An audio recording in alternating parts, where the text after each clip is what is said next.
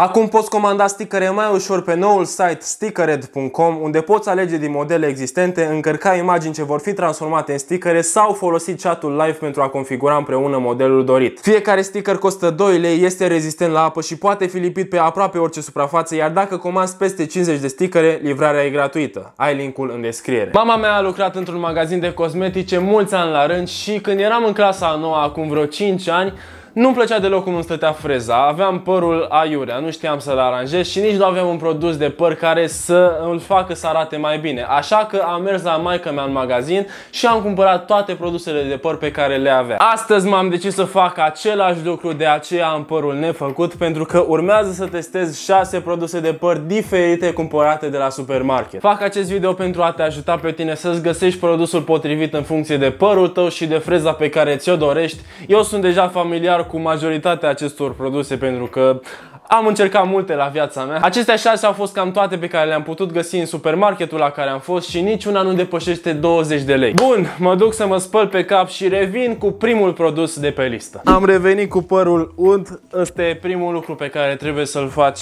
înainte să îți aranjezi freza. Și primul produs de pe listă pe care îl voi încerca este un clay de la Got To Be.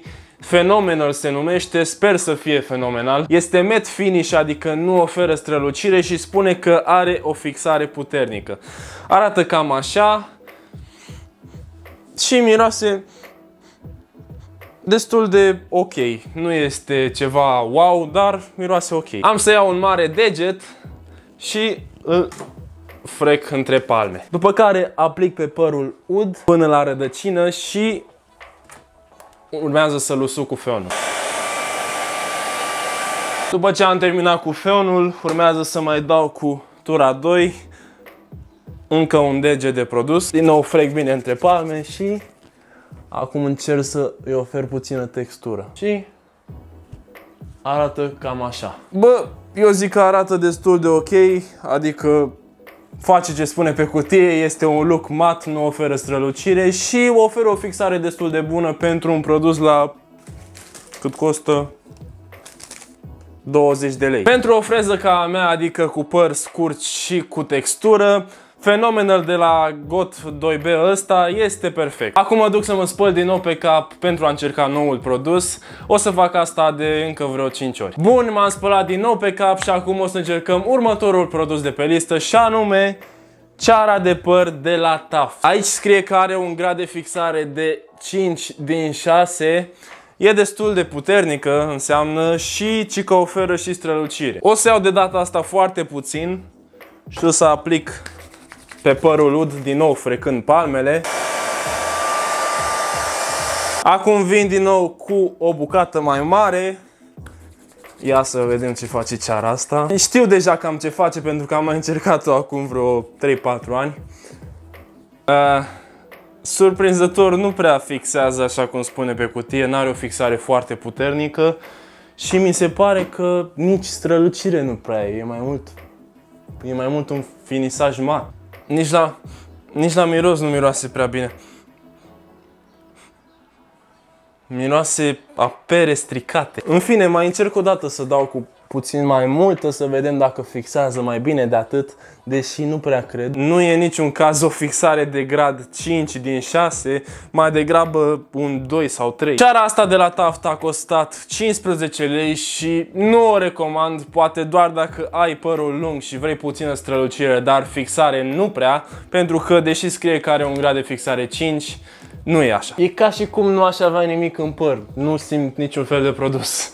Mă rog, să trecem mai departe la produsul cu numărul 3. Revin imediat după ce mă spăl. Mai departe avem o cremă gel de la Nivea, așa scrie pe cutie. Scrie că îți oferă o textură flexibilă, fără senzație lipicioasă, rămâne de văzut dacă e așa, și o fixare de 3 din 6.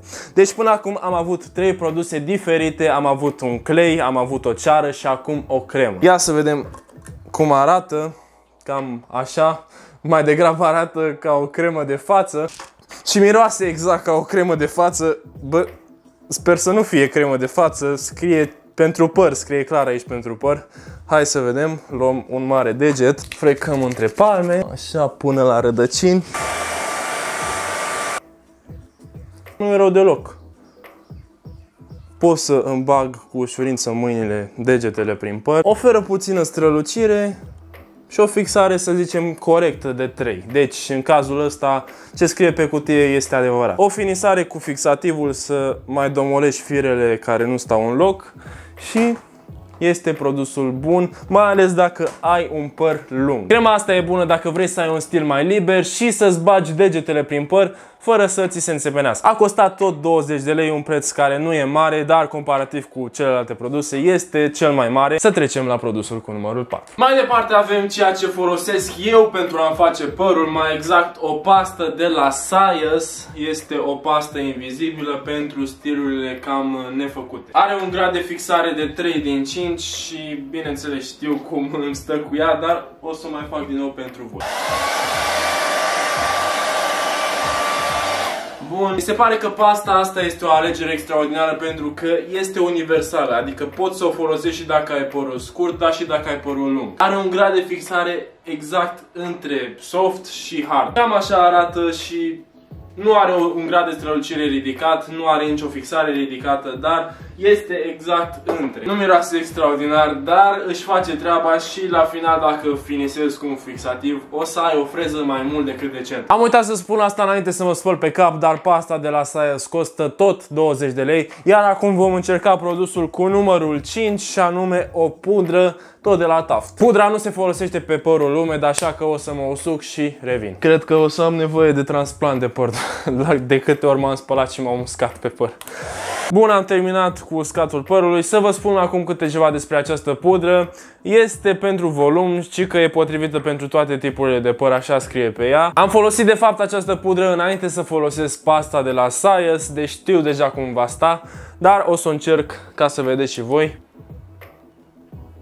N-am să mint, părul meu se simte ca hârtia creponată în momentul ăsta, asta și pentru că am folosit de fiecare dată șampon ca să mă spăl. Asta este și un dezavantaj al pudrei, îți oferă într-adevăr o fixare puternică, este cea mai puternică fixare de până acum din toate produsele pe care le-am încercat, dar îți usucă părul. Pudra este o alegere potrivită dacă ai părul scurt și vrei o fixare puternică, dar mată, fără strălucire. A costat 16 lei, este mai ieftină decât cele de până acum, dar prețul de 16 lei pare o avere pe lângă ce urmează să vă arăt acum. Am lăsat asta la final pentru că este cel mai șmecher produs de păr din istorie. Mai exact această mâzgă verde care se vrea a fi un gel de păr se numește Styling Edna Gel. Arată ca o gelatină într-un borcan. Și vă rog să observați, este lipită cu scoci, capacul e lipit cu scoci ca să nu se desfacă. Nu o să mă mai spăl pe cap pentru a încerca acest produs pentru că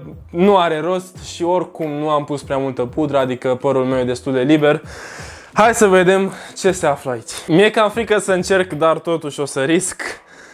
Mamă, de când n-am mai folosit gel de când aveam vreo 5 ani. Pare că mă dau cu apă. Mă așteptam să fixeze mult mai puternic, adică gelurile pe care le știam eu de mult îți fixau părul de nu mai puteai să îl descurci după. Însă gelul ăsta e mai mult o apă, nici măcar nu fixează nimic. În fine, oricum nu recomand gelurile, poate doar dacă vrei să-ți dai părul pe spate, ai părul lung și vrei să-l dai pe spate într-un wet look. În rest, gelurile sunt cea mai proastă alegere. Dar am dat pe acest gel mirobolanta sumă de 1 leu 50. Este cel mai ieftin produs din cele pe care le-am testat acum de departe, de vreo 10 ori mai puțin. Deși nu îți poate pica părul de la produse pentru păr, ăsta este un mit. Nu sunt sigur în legătură cu acest gel de păr. Acestea sunt opiniile mele despre cele 6 produse de păr diferite pe care le-am încercat azi și cu aceste cunoștințe poți merge să-ți alegi produsul potrivit pentru tine. De asemenea, dacă vrei ceva mai calitativ decât ce găsești la supermarket, poți intra pe site-ul The Barber Shop. Este un site pe care l-am folosit și eu mai de mult în cumpăram produse de acolo și deși costă mai mult, sunt mai calitative. Nu a existat nicio sponsorizare în acest video, pur și simplu am vrut să-mi spun părerea mea despre produsele de pe piață. Da, oamenii, acest a fost videoclipul de astăzi. Dacă v-a plăcut ceva, a fost de ajutor, vă rog frumos să distribuiți mai departe, să vă abonați, bineînțeles, dacă n-ați făcut-o și să-mi dați un follow la Edit Advice pe Instagram, unde puteți, bineînțeles, să-mi adresați orice fel de întrebare legate de viața voastră personală, iar eu voi încerca să vă ajut. De asemenea, dacă ai o problemă urgentă și ai nevoie de ajutor, poți apăsa pe butonul alăturete de mai jos și vei primi numărul meu de telefon unde îmi poți trimite mesaj și îți voi răspunde în aceea zi, nu ca pe Instagram unde îmi ia în jur de două săptămâni. Și acestea fiind spuse, eu am fost Advice sau Edi și bă data viitoare nu uita, pune eu reușită, nu rateu! Pa, pa!